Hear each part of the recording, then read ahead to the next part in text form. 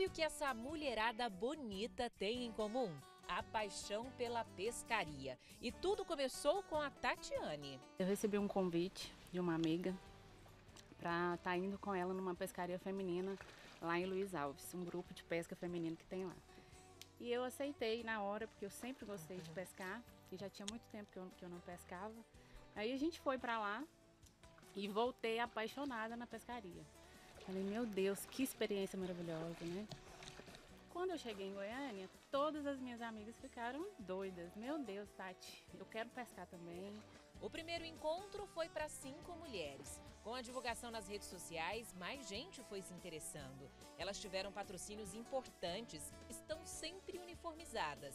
No último encontro, 18 mulheres foram para o interior do estado passar três dias pescando. Foi uma experiência incrível para mim, porque é, foi um momento meu, né? E quando você tá ali no rio pescando, é um momento muito incrível de conexão com a natureza. O cabelo arrumado, a maquiagem, a unha bem feita não é só para reportagem não, viu? Não, vamos pescar desse jeito ou mais bonitas ainda. A maquiagem vai na bolsinha de pesca. A gente retoca ali o tempo inteiro, faz muita foto e é assim, mulher, né? Entre elas tem advogada, fisioterapeuta, donas de casa, mães. Todas elas já entenderam os benefícios da pescaria, principalmente assim, entre amigas. Como eu sou empresária, a gente está no corre-corre do dia a dia, né? E o momento que eu tô lá pescando, eu esqueço de tudo aqui.